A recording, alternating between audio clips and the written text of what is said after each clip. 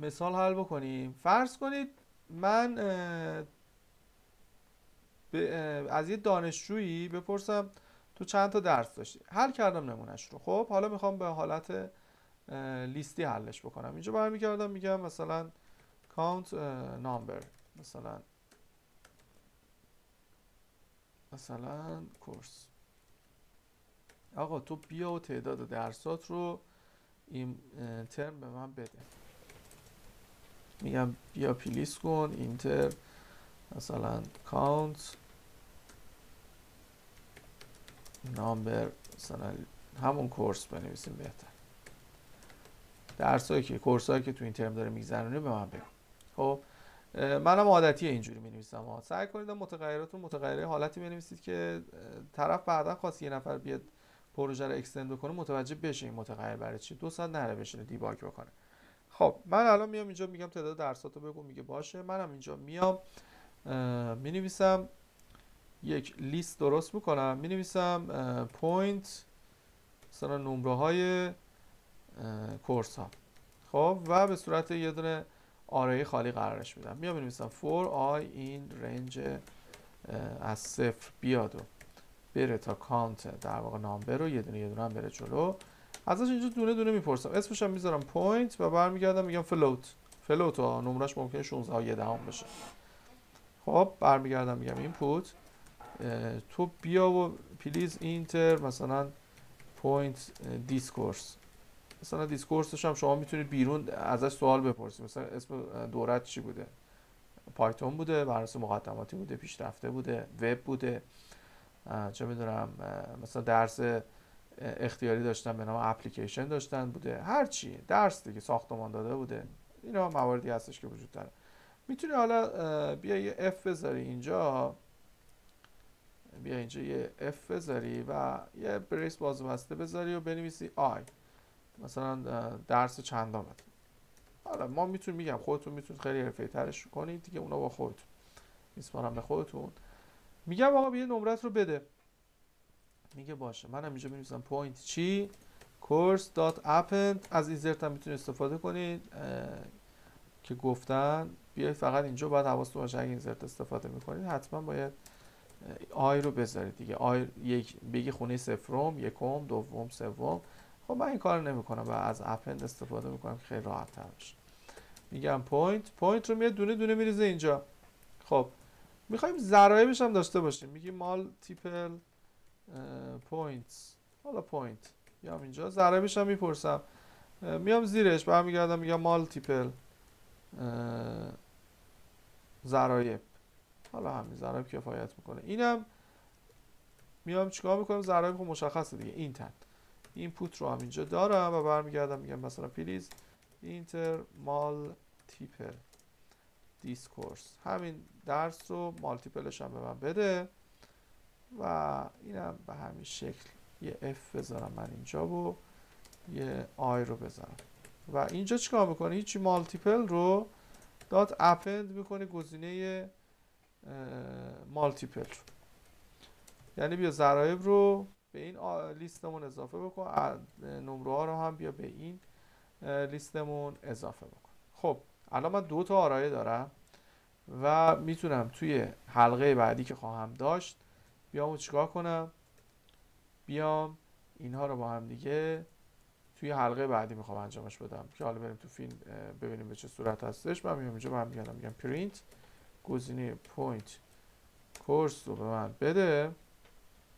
point course رو به من بده. control C control V می‌زنم multiple point رو هم به من بده.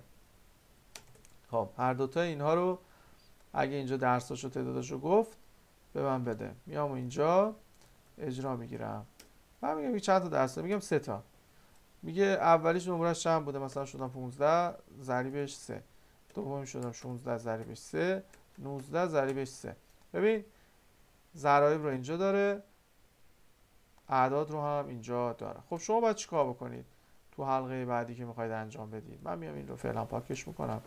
یه فور می‌ذاریم باز اینجا. یه آی این رنج برمیگردیم. میگیم صفر. خب لنس اینا دیگه کاملا با هم دیگه برابره دیگه. چیز کاملا واضحیه.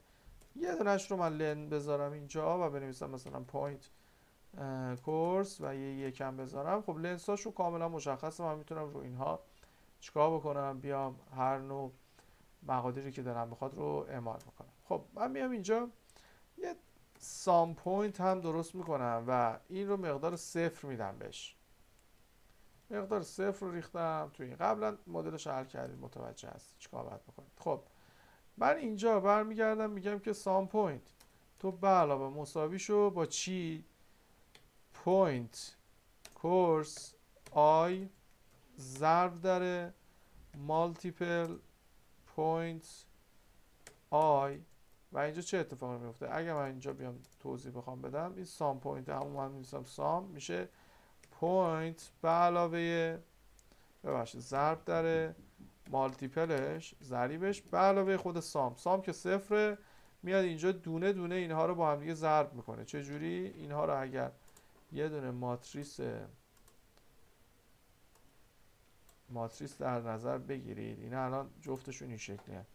یه ماتریس اینه یه ماتریس این. خب؟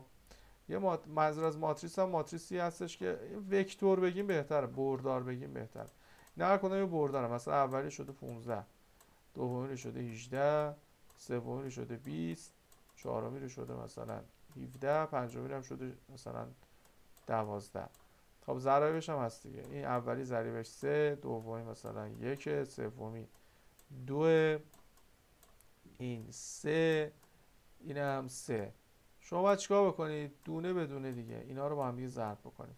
خب وقتی میگه i مساوی صفر چی میشه؟ این خونه با این خونه عملا میان با هم دیگه ضرب میشن. کاملا هم مشخصه. point course i ضرب در multiple point i. یعنی خونه صفرم بیاد تو این خونه ضرب بشه. من در دارم خونه به خونه با هم دیگه اینها رو ضرب می‌کنم و چیکار می‌کنم؟ میریزمش توی یه دونه متغیر.